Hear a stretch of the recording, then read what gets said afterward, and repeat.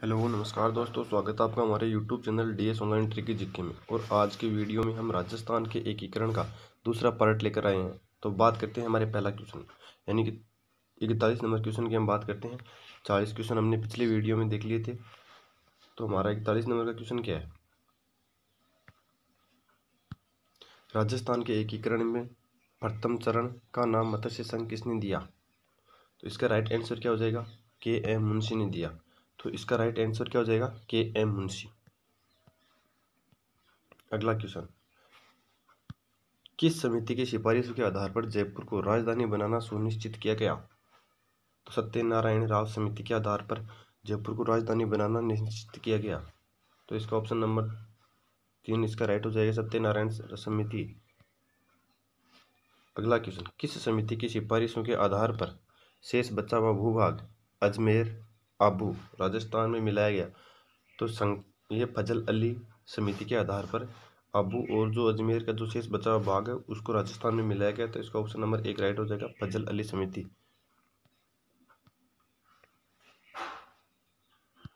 अगला क्वेश्चन। राजस्थान में से रियासत संबंधी समस्याओं के समाधान के लिए रियासती विभाग की स्थापना कब की गई? तो इसका राइट आंसर क्या हो जाएगा? पाँच जुलाई उन्नीस सौ सैंतालीस को की गई। तो इसका ऑप्शन नंबर एक राइट हो जाएगा अगला क्वेश्चन। राजस्थान के एकीकरण की प्रक्रिया के समय मत्स्य संघ की वार्षिक आय कितनी थी? तो इसका राइट आंसर क्या हो जाएगा? वार्षिक आय। वार्षिक आय और किसकी? मत्स्य संघ की। तो इसकी एक सौ चौरासी लाख रुपए थी वार्षिक आय।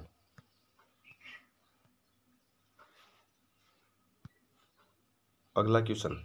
राजस्थान की किस रियासत को पंडित जवाहरलाल नेहरू ने विश्व का आश्चर्य कहा है? किसका? बहुत ही इंपॉर्टेंट क्वेश्चन कि पंडित जवाहरलाल नेहरू ने किस रियासत को विश्व का आठवां आश्चर्य कहा है? जैसलमेर को कहा है, क्योंकि इसने कोई भी स्वतंत्रता से पूर्व कोई भी संवैधानिक शासन के लिए कोई उपाय नहीं किया था। अगला क्वेश्चन। दो क्षेत्रों के विलय के साथ उन्नीस सौ छप्पन में राजस्थान का एकीकरण पूर्ण हुआ। वे थे। उन्नीस सौ छप्पन में राजस्थान का एकीकरण पूर्ण हुआ। और दो क्षेत्रों के विलय के साथ। तो ये था आबू रोड, देलवाड़ा और अजमेर। तो इसका ऑप्शन एक नंबर राइट हो जाएगा आबू रोड, देलवाड़ा और अजमेर।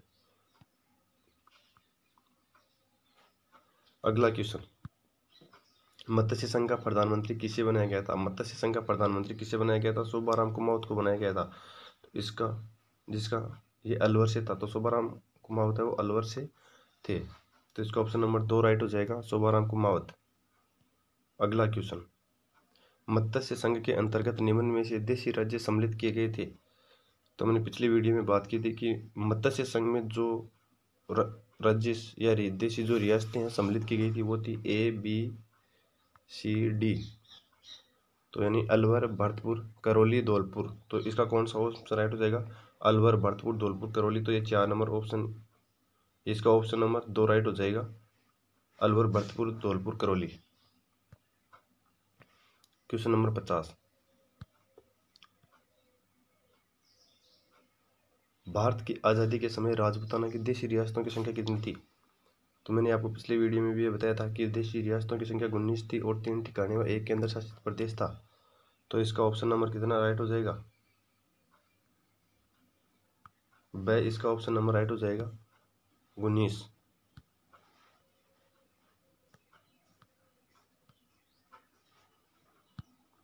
अगला क्वेश्चन है। निम्न शहरों को राजस्थान के एकीकरण के समय स्थापित सरकारी कार्यालय के साथ सम्मिलित कीजिए।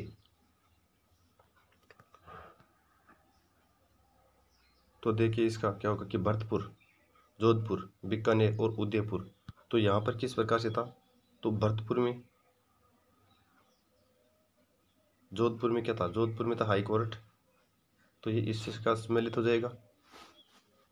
भरतपुर। भरतपुर में था कृषि विभाग खनिज और उदयपुर में खनिज विभाग और बीकानेर के अंतर्गत शिक्षा विभाग। तो इस प्रकार से ये सम्मिलित, आप याद रख सकते हैं। और कई बार एग्ज़ाम में पूछा हुआ भी क्वेश्चन है।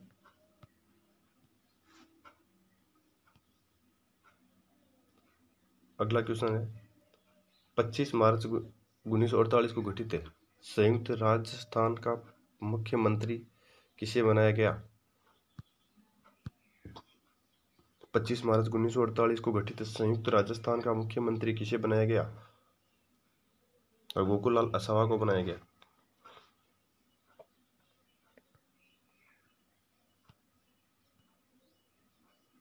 अगला क्वेश्चन विलय पत्र पर हस्ताक्षर करते समय किसने कहा कि मैं अपने डेथ वारंट पर हस्ताक्षर कर रहा हूँ? कई बार ये इंपॉर्टेंट एग्ज़ाम की दृष्टि से बहुत वेरी वेरी इंपॉर्टेंट एग्ज़ाम में पूछा हुआ क्वेश्चन कि विलय पत्र पर हस्ताक्षर करते समय किसने कहा कि मैं अपने डेथ वारंट पर हस्ताक्षर कर रहा हूँ? तो ये बांसवाड़ा का महारावल चंद्रवीर सिंह ने कहा था तो इसका ऑप्शन नंबर द राइट हो जाएगा।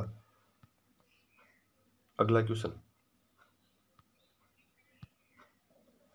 वृहत राजस्थान, तीस मार्च उन्नीस सौ उनचास का उद्घाटन किया था।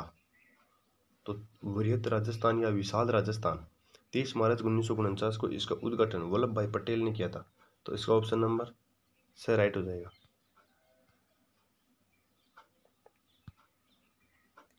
मत्स्य संघ 18 मार्च 1948 का राज्य प्रमुख किसे बनाया गया था? तो इसका राज्य प्रमुख बनाया गया था उदय भान सिंह को। तो इसका ऑप्शन नंबर एक राइट हो जाएगा और इसका जो प्रधानमंत्री वो बनाया गया था, शोभाराम कुमावत को। तो यहाँ पर आर्य ने कुमावत होगा, शोभाराम कुमावत को। अगले क्वेश्चन की बात कर लेते हैं। कि मत्स्य संघ का वृहत राजस्थान में कब विलय किया गया? मत्स्य संघ का वृहत राजस्थान में कब विलय किया गया? तो इसका हो जाएगा पंद्रह मई उन्नीस सौ उनचास को किया गया। तो इसका ऑप्शन नंबर तीन राइट हो जाएगा पंद्रह मई उन्नीस सौ उनचास को। और उसके बाद में इसका नाम क्या रखा गया? नाम इसका रखा गया संयुक्त वरीहत राजस्थान। संयुक्त वरीहत और राजस्थान इसका नाम हो गया बाद में। अगला क्वेश्चन है। देशी रियासत जो 25 मार्च 1948 को गठित संयुक्त राजस्थान का हिस्सा नहीं थी कि 25 मार्च 1948 को। जो संयुक्त राजस्थान का हिस्सा नहीं था। तो इसके अंतर्गत बूंदी, प्रतापगढ़, उदयपुर, शाहपुरा तो इसमें ये उदयपुर नहीं था। क्योंकि ये तीनों थे। संयुक्त राजस्थान के अंदर बात की जाए तो नौ रियासतें और एक ठिकाने का एकीकरण राजस्थान में हुआ था।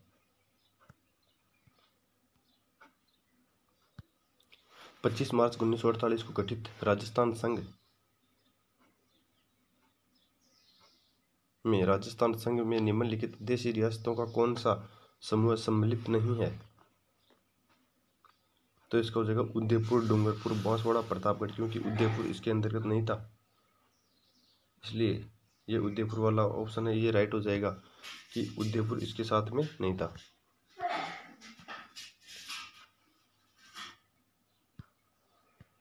एकीकृत राजस्थान के निर्माण में मत्स्य संघ में शामिल ज़िले थे। तो एकीकृत राजस्थान के निर्माण में मत्स्य संघ में शामिल ज़िले कौन से थे? तो अलवर, भरतपुर, धौलपुर, करौली। जो क्वेश्चन आपको रिपीट हो रहे हैं, उस क्वेश्चन को आप वीडियो आंसर देखे बिना अपने आंसर बताएँ ताकि आपको वो क्वेश्चन याद हो जाए। क्वेश्चन नंबर साठ की बात करते हैं। राजस्थान का एकीकरण कितने चरणों में पूरा हुआ? तो राजस्थान का एकीकरण कितने चरणों में पूरा हुआ? सात चरणों में पूरा हुआ, जो 18 मार्च 1948 से लेकर 1 नवंबर उन्नीस सौ छप्पन तक, यानी कि आठ वर्ष से सात माह है और चौदह दिन में पूरा हुआ। तो आप इसको इस प्रकार से याद रखते हो, आठ, सात और चौदह। आठ, सात, चौदह के हिसाब से आप याद रख सकते हो। अगला क्वेश्चन मेवाड़ के महाराणा भोपाल सिंह किस वर्ष में राजस्थान के महाराज प्रमुख बने? तो ये उन्नीस सौ उनचास में बने। तो इसका ऑप्शन नंबर ये राइट हो जाएगा। क्वेश्चन नंबर बासठ की बात करते हैं। उन्नीस सौ अड़तालीस में किसको मत्स्य संघ का राज्य प्रमुख बनाया गया था। उन्नीस में राज्य प्रमुख बनाया गया। तो राज्य प्रमुख उदय भान सिंह को बनाया गया था। तो महाराजा उदय भान सिंह, इसका आंसर हो जाएगा।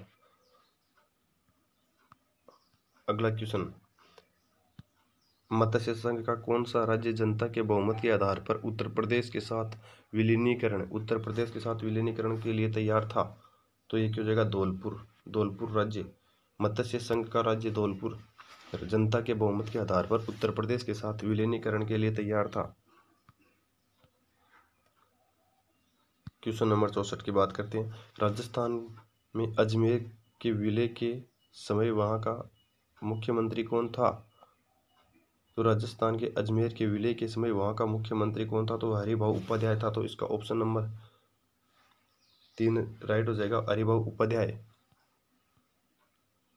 अगला क्वेश्चन संयुक्त राजस्थान का अप्रैल 18 1948 को किसने उद्घाटन किया?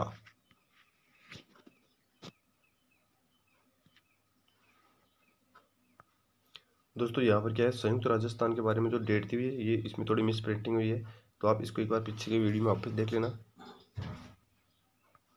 तो दोस्तों, आप इसको इस प्रकार से भी लिख सकते हो कि 18 अप्रैल 1948 1948 लिख सकते हो तो इसका उद्घाटन जवाहरलाल नेहरू ने किया था। ऑप्शन नंबर इसका सह राइट हो जाएगा। अगला क्वेश्चन। कि मत्स्य संघ की राजधानी क्या थी? तो मत्स्य संघ की जो राजधानी है, वो अलवर थी। तो इसका ऑप्शन नंबर एक राइट हो जाएगा, अलवर। अजमेर के राजस्थान में विलय से पूर्व है? अजमेर की विधानसभा में कितने सदस्यों की संख्या कितनी थी? यानी अजमेर के राजस्थान में विलय से पूर्व अजमेर की विधानसभा में सदस्यों की संख्या कितनी थी? तो इसका राइट आंसर हो जाएगा तीस। तीस विदेशियों की विधानसभा सदस्यों की संख्या थी। अगला क्वेश्चन राजस्थान के गठन के विभिन्न चरणों और उनके गठन की तिथियों का कौन सा जोड़ा सम्मिलित नहीं है? तो जो वर्तमान राजस्थान है वो एक नवंबर उन्नीस सौ छप्पन को सातवां चरण हुआ। ये एकदम राइट है। छठवां चरण, जनवरी 1950 को। तो ये राइट है? जो छठवां चरण वर्तमान में बात करें तो छब्बीस जनवरी उन्नीस सौ पचास को प्रथम चरण अठारह मार्च उन्नीस सौ अड़तालीस को। और संयुक्त वृहद चरण ये पंद्रह मार्च उन्नीस सौ अड़तालीस।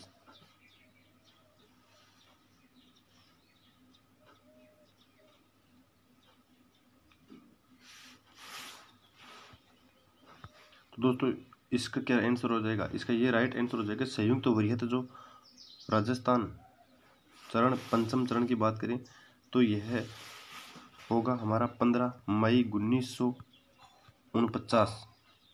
उन्नीस सौ उनपचास की डेट को संयुक्त वरीयत राजस्थान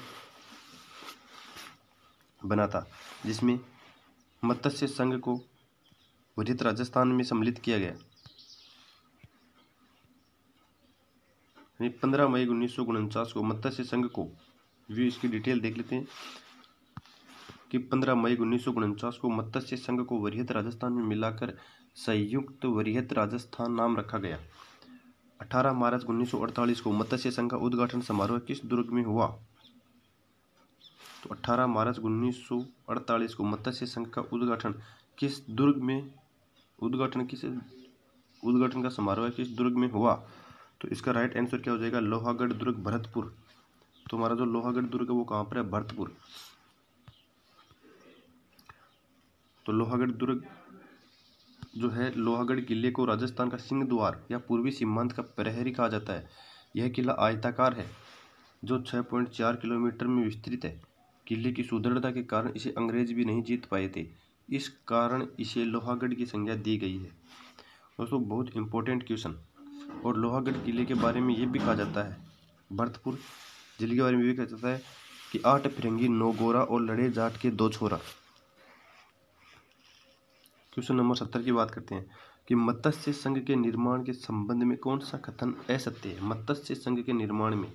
मत्स्य संघ का निर्माण राजस्थान के एकीकरण का प्रथम चरण था। ये सही है कि ये प्रथम चरण था। 18 मार्च 1948 को हुआ। मत्स्य संघ के नाम के एम मुंशी के द्वारा दिया गया। ये भी इसका राइट आंसर है।